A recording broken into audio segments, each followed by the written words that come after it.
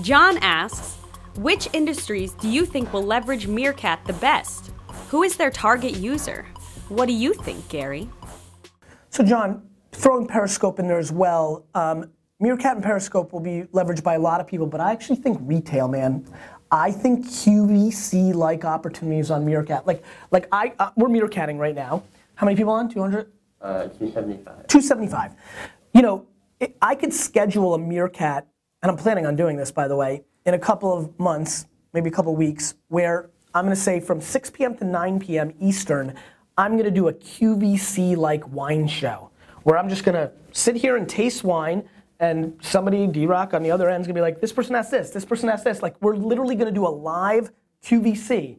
I think retail, selling stuff on live is very real to me. I'm a big believer in it. Imagine I'm meerkatting, then I'm tweeting or Facebooking links to the things I'm talking about. People are interacting, sharing links. It's just super fascinating to me. So, um, my big bet is that retail uh, will be able to take big advantages of it because it's the people that can really take advantage of what this is replicating. The reason I do well with business is I realize nothing really changes, things just evolve. Meaning, Meerkat and Periscope are just live television.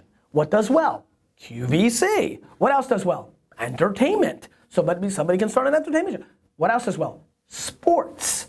So I could see a local minor league baseball team or you know, like there's just a, sports does well, right? So like you could start a frisbee league that you get people into by watching it, and then sponsors will pay you. Backyard basketball leagues, you know, uh, the fighting that we, the hardcore fighting that you see on YouTube that gets me into the rabbit. I mean, I waste no time on anything, and even I once in a while get suckered into like street fighting on YouTube because the knockout is just so intense. You know, I would watch that on Meerkat. I would watch that on Meerkat right now. Like if two dudes want to raise their hand and fight, two chicks, I mean, you know, whatever, fight I'll watch that shit. I mean, I'll pay $2.99 to watch it live. So I think that anything that's live on television, Periscope and Meerkat have the chance to play in. That's where I see the upside.